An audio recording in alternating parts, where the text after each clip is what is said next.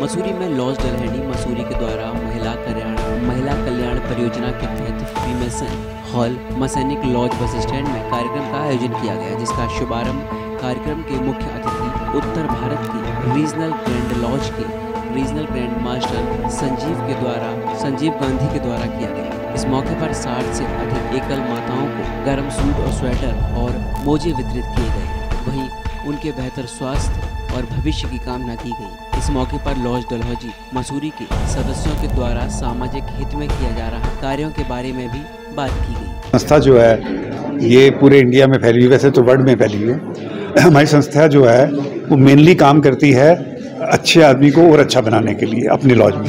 जब लोग अच्छे से अच्छे बन जाते हैं मिल के फिर इस किस्म के प्रोजेक्ट्स करते हैं, बहुत सारे प्रोजेक्ट्स हैं। दिल्ली में मैं नॉर्दर्न इंडिया का हेड हूँ, लेकिन दिल्ली के अंदर हमारे पास चार बड़े प्रोजेक्ट हैं। एक हमारा स्कूल है, जो मिसोनिक स्पास्टिक सोसाइटी है। वो क्या है कि उसमें जो स्पास्टिक बच्चे होते हैं स्पेशल चिल्ड्रन उनको हम एजुकेशन देते हैं और फ्री एजुकेशन देते हैं। और हमारे को जो हमारे लॉज के ब्रदर हैं, सब लोग, वो सब डोनेशन देते हैं उसको करते हैं। हमारे को एक बच्चे के ऊपर छः हज़ार रुपये खर्च होता है, जो हम करते हैं। तो इस किस्म के चैरिटेबल प्रोजेक्ट हम करते रहते हैं। हमारी बहुत बड़ी डिस्पेंसरी है और हमारे पास एक मिसोनिक आई सेंटर है, बनाया हुआ एक हमारा पब्लिक स्कूल भी है स्कूल में हम बच्चों को देते हैं। इस किस्म के हम प्रोजेक्ट्स करते रहते हैं, लेकिन हमारा मेन एम जो होता है brotherly love relief and truth आपस में प्यार से रहना, जो हमारे ब्रदर हैं, सब मेंबर हैं।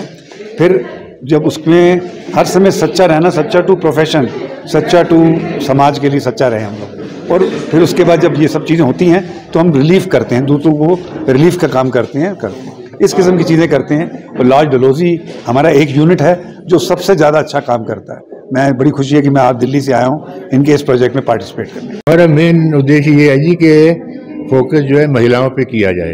तो इसी इसी कारण पिछले तीन वर्षों से हम महिलाओं के लिए कुछ कर रहे हैं। पहले तो वर्किंग गर्ल्स के लिए किया हमने जो काम कर रही हैं, उसके बाद हाउस मेड्स के लिए किया, जो घरों में काम करती हैं। और इस इस बार सिंगल मदर्स के लिए किया है, जो कि अकेली रहती हैं। और इसके अलावा, उसके पहले हम बच्चों के लिए करते थे और अब महिलाओं पे भी फोकस है। तो महिलाओं के लिए हम जो है, जो कुछ भी करें, वो कम है और आगे भी महिलाओं के लिए कोई ना कोई कार्यक्रम करते रहेंगे। हमने हमने लाटूर गाँव में किया था जी, उनका पूरा स्कूल जो है, वो अडॉप्ट कर लिया था और वहाँ पे स्कूल यूनिफॉर्म बेंच और स्टेशनरी कई साल तक देते रहे हम लोग। और जब उनके यहाँ रोशनी सोलर इलेक्ट्रिसिटी आई तो उनके रिज़ल्ट जो हैं, वो पहले से कहीं ज़्यादा अच्छे हो गए।